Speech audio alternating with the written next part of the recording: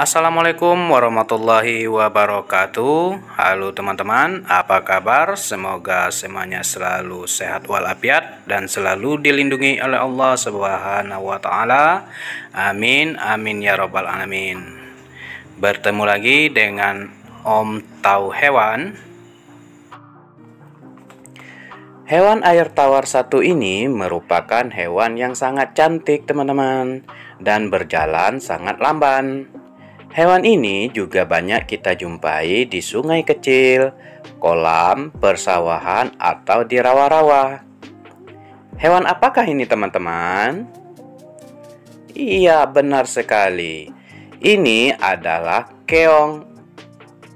Kita sering menyebutnya dengan keong emas.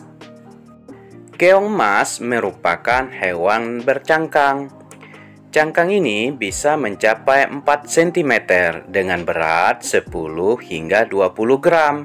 Umumnya, cangkang ini berbentuk opal. Teman-teman, walaupun keong ini terlihat sangat cantik, tapi merupakan musuh para petani karena keong ini memakan tanaman para petani seperti tanaman sayuran, padi, dan lain-lain. Keong merupakan hama yang sangat sulit untuk dihilangkan teman-teman. Keong mas termasuk dalam golongan omnivora atau pemakan segala. Mereka memakan buah-buahan, sayur-sayuran, atau dedaunan, remah-remah tumbuhan, bangkai ikan, atau bangkai hewan yang mereka jumpai di darat teman-teman. Nah teman-teman, dari manakah sebenarnya keong ini berasal? Keong ini merupakan pendatang dari Amerika Selatan dan masuk ke Indonesia pada awal tahun 1980-an. Teman-teman, keong emas yang memiliki kemampuan luar biasa ini pada musim kering, hewan ini akan membenamkan diri pada tanah yang lembab. Keong-keong ini dapat bertahan hidup hingga 6 bulan di dalam tanah dengan cara menutup operkulum dan akan muncul kembali ketika tanah tempat hidupnya tergenang air.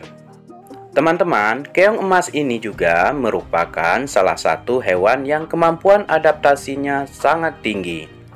Mereka dapat hidup pada kondisi lingkungan yang keras seperti perairan yang tercemar, perairan yang kandungan oksigen terlarut rendah, Hal itu bisa terjadi karena keong emas memiliki insang dan organ yang menyerupai paru-paru yang membuatnya dapat bertahan hidup di dalam dan di luar air. Teman-teman, keong emas ini memiliki dua tentakel. Pertama, berada di dekat mata kiri dan kanan yang berfungsi sebagai pemandu atau peraba. Kedua, tentakel yang terdapat di dekat mulut. Bagaimanakah cara keong emas ini berkembang biak, teman-teman? Keong emas berkembang biak dengan cara bertelur. Mereka akan meletakkan telur-telurnya di batang padi, di balik daun, atau di batang kayu mati yang berada di pinggir kolam, sungai, atau rawa. Telur mereka berwarna pink dengan jumlah yang sangat banyak teman-teman.